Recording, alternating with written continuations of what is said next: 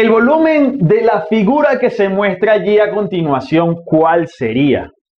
En los videos conceptuales te mencioné cómo se hace la cuenta para un volumen de una figura de este estilo. Hay un ejercicio previo que ya tenemos básicamente un trabajo adelantado, el análisis, entonces te invito a que le eches un vistazo también. Piénsalo, analiza, interpreta. ¿Listo? ¿Ya pausaste tu video? Ok, empecemos.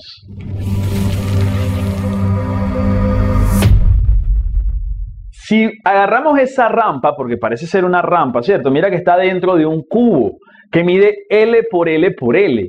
Si tú agarras esa rampa y la ves de frente, la vas a ver de una manera, con una vista lateral, sería este cuadrado con esta curvita, donde esto es L por L, ¿sí? Ya nosotros lo trabajamos en, ¿te acuerdas? El ejercicio de los pétalos de la flor. Esto mide L, ¿ok? Y este también mide L. Ahora bien, basado en esto, tú dices, si esto mide L y esto mide L, yo podría calcular el área de esta sección que acabo de trazar. Si tengo el área de esa sección, es el área lateral, la cara lateral de la rampa. Ahora, si esta rampa está montada sobre una, lo que sería una imagen en tres dimensiones, por eso para nosotros, si la vemos así y le tiene una profundidad, simplemente vamos a buscar qué? El área de la cara, que es esta cara lateral que está aquí, y lo vamos a multiplicar por la profundidad. Y esa profundidad para nuestro ejercicio mide L porque eso está metido dentro de un cubo. Entonces, si esto es L y esto es L, esto sería básicamente L también.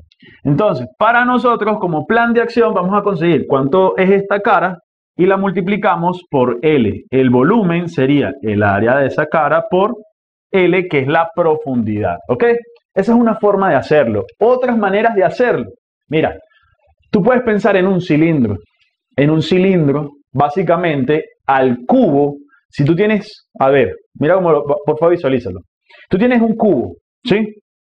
Ahora, si tú agarras un cilindro completo, ¿de acuerdo? Si tú agarras un cilindro completo y picas en cuatro partes del cilindro, este pedazo que queda aquí faltando, este pedacito que va a quedar acá, así, mira que tratando de hacer nuestro dibujo lo más referencial posible, así como lo teníamos al inicio, este pedacito que va a quedar aquí es la cuarta parte del volumen de ese cilindro, que sabemos cuál es el radio, sabemos cuál es la profundidad, la altura, y tú puedes calcular el volumen de ese cilindro pequeño. Entonces, al, la cuarta parte, tú agarras y dices, como eso es la cuarta parte del volumen de un cilindro, si tú agarras el volumen del cubo, el volumen del cubo le restas la cuarta parte del volumen de ese cilindro, también te queda esa rampa y te da lo mismo. Solo que por ahí un poquito más, podría decirse extenso.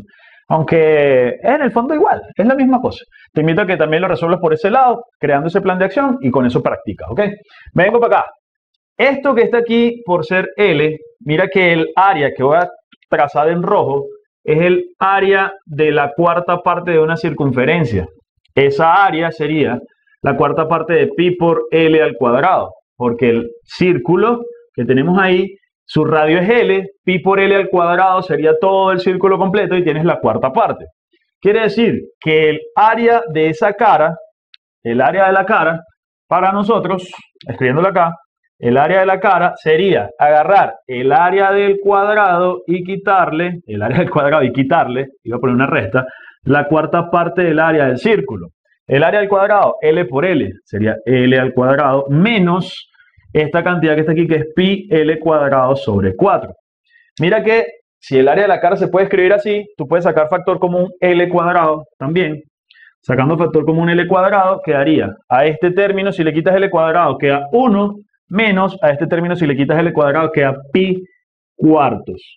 Lo vamos a multiplicar por la profundidad como te comenté. Entonces, el volumen sería el área de la cara por L. Pero ya el área de la cara es esto, que es L al cuadrado por 1 menos pi cuartos. Si multiplicamos aquí por L, L al cuadrado por L, pues simplemente escribes aquí L al cubo. Conclusión, esta de acá sería para nosotros el volumen de esa rampa que nos están dando aquí en el planteamiento. Si lo haces por el volumen del cubo menos la cuarta parte del volumen de un cilindro, también te da igualito. este planteamiento cuando factorizas. L es un valor genérico. Para nosotros aquí la respuesta correcta, la alternativa A. Espero que te haya gustado, que hayas entendido. Al final es implementar los conceptos que hemos visto ya en los videos teóricos, ¿de acuerdo? Vamos a un siguiente ejercicio. Chao.